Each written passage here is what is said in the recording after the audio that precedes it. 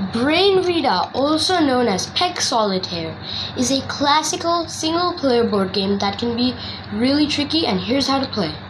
You will be needing your Brain Vita set, your board game set, and you'll be needing marbles, usually one less than the amount of holes in the Brain Vita set.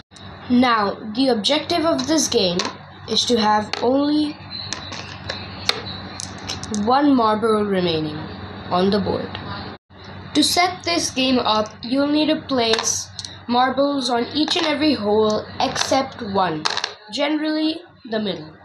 Take turns by moving one marble over an adjacent marble to one of the empty spaces.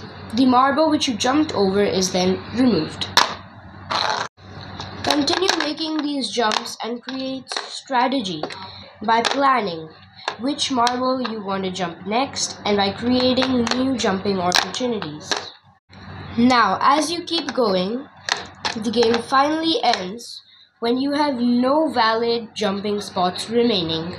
Ideally, it should be one. Tips while you play this game. Plan and visualize. Try to know the consequences that, that you will face upon moving a specific marble. Try to also keep an eye for dead ends because dead ends can be really annoying. Like, you can get so many opportunities without them. Now, Brain Vita is a really strategic game that will really help you with your problem solving thinking. So, keep playing. Check out one of these videos if you didn't already. Until then, I'll see you tomorrow.